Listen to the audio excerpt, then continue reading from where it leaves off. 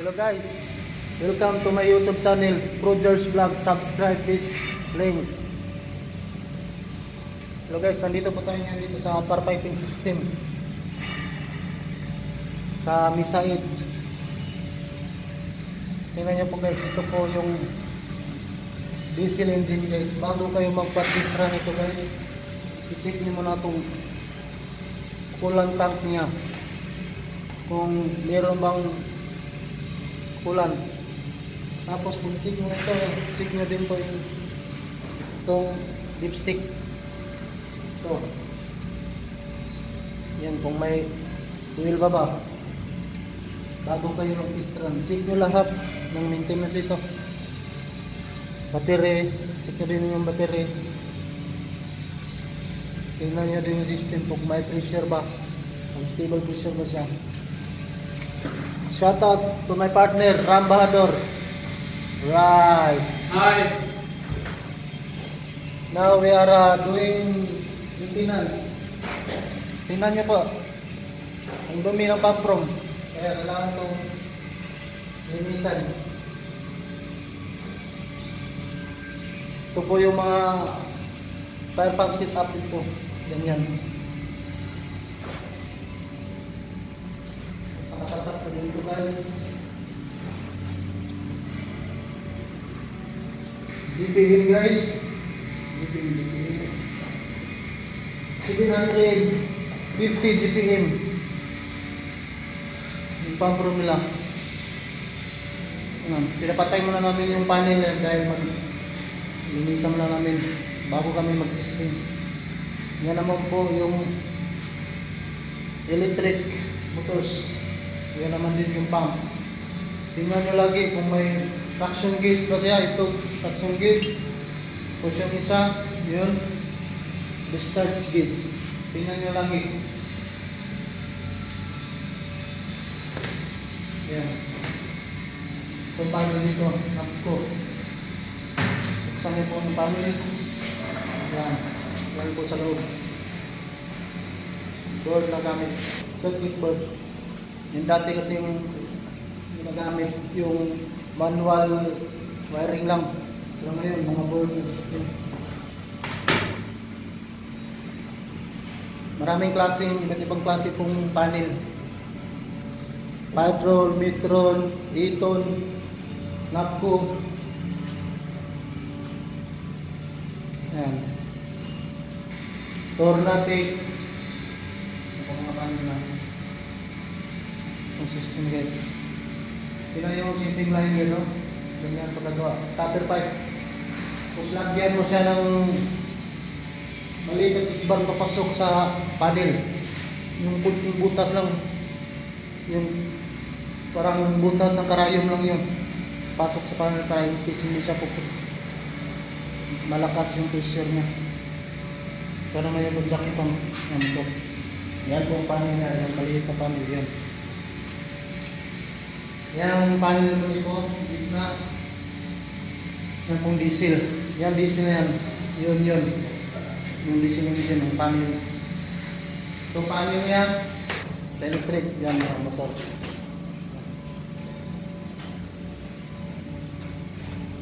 Yan po natin. Pong gitbag. 8 inch. 8 inch gitbag. Yan ang pipe niya. Alikabok guys. Hmm. Yan naman sa post taas. Excuse, sorry, sorry. Kabok. Yan po ang butterfly, ah, butterfly, yung flow meter. Yung isa, yung butterfly valve. Dalawa, pero tatis line siya. Yan, pakita ko sa inyo. Yan, yan, yan. Dalawang butterfly valve yan. Isa dyan, isa din do. To, yan.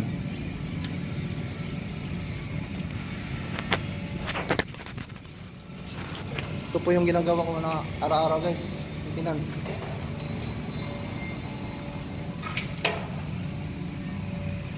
This guy is very good guy. Ram Bahadur, number one my partner. I really like him too much. This is sis- sit up yun. Kamanil maghawak ng kamera pala guys. Yan, yan. Sit up yan.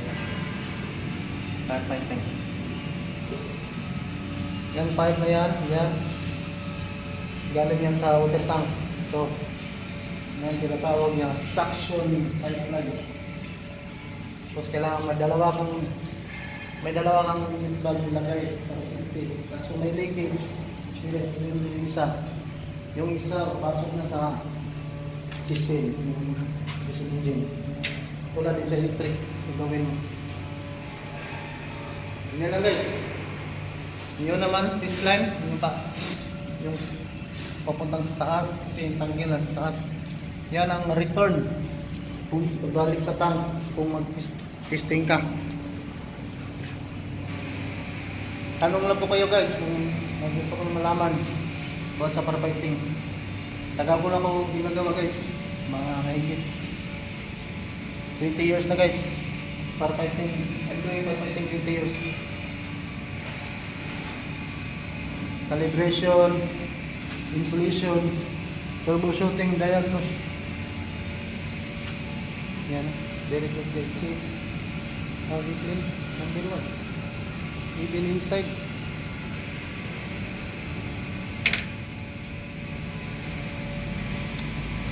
Shout out pala sa mga tropa ko dyan sa BTC.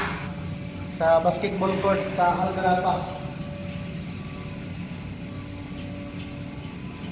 Ta lagi ko laro hapon-hapon.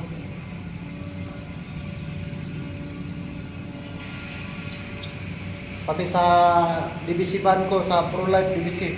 Shout out. Pati sa pamilya ko. Shout out your family Ram Ram. Your family. Shout out your family. Good. Your family. Shout out. His wife also shout out. Rambador wife. Number one, very handsome now. Before, very thickness, small thickness this guy. Now, always eating muton. Very big. Always closing valve. Big. Now, coming big. Half abs now abs. Only one abs.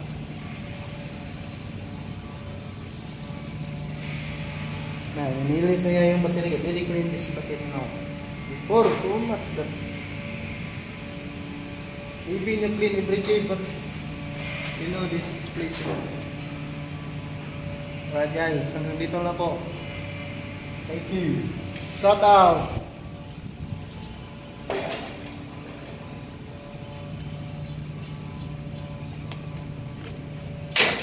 Gusto ko yung tanong, ano lang, comments lang.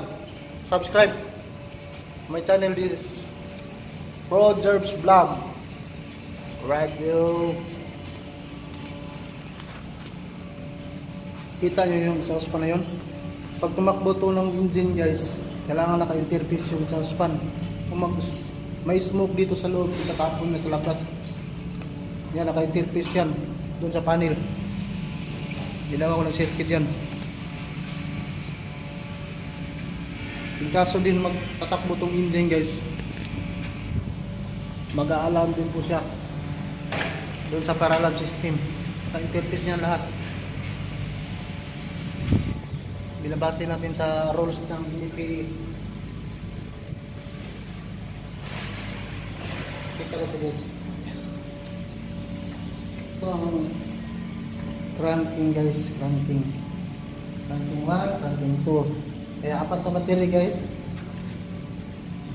Kasiris yan para maging 24 volts. Yung battery yan. Para maging 24 volts yan. Series. Yan, bago ko yung ginagawa. Dati dito, pumunta ko dati dito. Patay ko lahat. Ngayon, normal lang. Okay guys. Shout out sa my company. Yan po sakya ko guys. Service ko araw-araw. Okay, baboom. Ride this video. Don't forget guys, subscribe. Bye-bye.